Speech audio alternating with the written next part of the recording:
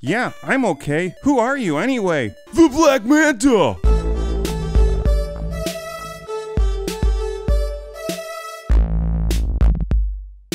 Wrath of the Black Manta, because Dolomite doesn't have his own game. Play this. It's like a combination of Shinobi mixed with all of my favorite 70s kung fu and blaxploitation films. It's terrible, but amazing because of it. Wrath of the Black Manta. Watch your mouth. Did they ever make video games based on the Death Wish movies? Maybe that's what this was meant to be. You are Charles Bronson, dressed as a ninja on the Nintendo Entertainment System in Wrath of the Black Manta. It's hilarious. This is a terrible game, but thoroughly entertaining. It's like an awful version of Shinobi. Because children have been kidnapped and scattered throughout New York, your job is to look behind a bunch of rolling doors until you save them all.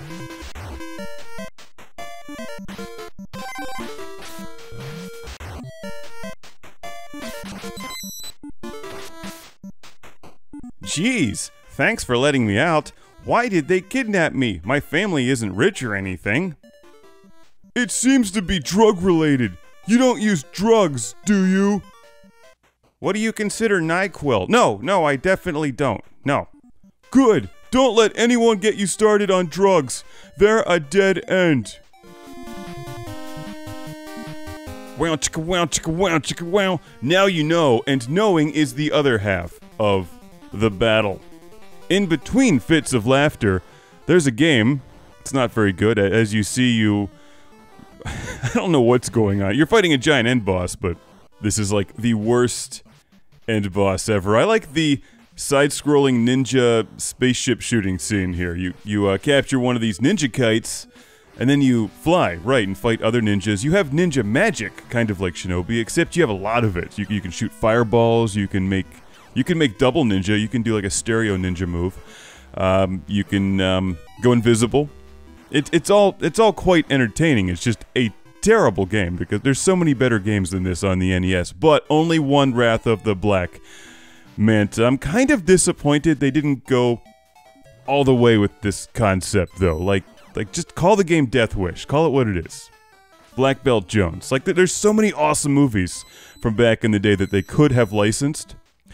You must stop these guys. They're drug pushers. That guy looked like a little David Hasselhoff. He's got some pretty sweet hair. Here's the waterfall scene. These games all have to have some kind of a, like a cavernous waterfall scene. More side-scrolling ninjas, and of course, the boat level. They always have boats because the docks were really cheap to film at. That's why these movies all had like the docks level, the docks scenes. Sorry. Like, what would be the best 70s blaxploitation film to base a game on? Now, see, here's a good question. Because you're probably thinking like Shaft or Dolomite. No, no, not, not the obvious ones.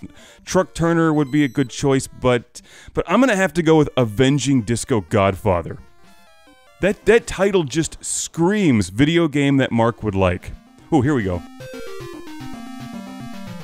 What? That's impossible! No one could defeat the Voodoo Warrior. No one, that is, except. Jim Brown with a chainsaw.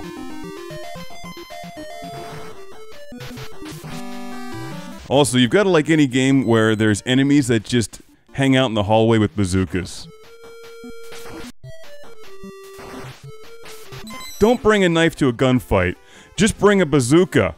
Right up until the part where you fight Ed 209 or the mini ATST. I'm trying to activate my ninja magic to go invisible because it works really well, except I keep hitting the wrong button and pulling off different ninja magic. Ooh, the elevator scene. This is quite clever here. I like this. This, this reminds me of uh, the Super Spy on Neo Geo. Except uh, you ride the elevator up and then watch out! There's bad guys! Throw ninja stars at them, then then laugh at the look on their face. I, I kind of want a sequel to this game. Did they make more? Ooh, more dialogue. Boy, am I glad to be out of there. Yeah, I bet. Any more kids on this floor? Like, that's exactly what the ninja sounds like in this game. If they did a voice track, it would be that. Ooh, more ATSTs.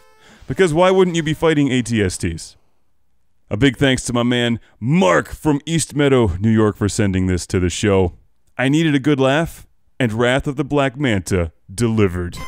Classic Game Room has been brought to you by the ultra massive video game console guide 230 pages of video games on amazon.com retro megatrex and how to make a video game review show that doesn't suck and Jesus number two. Welcome to the Patreon Lord Carnage Club being shouted from a turbo volcano.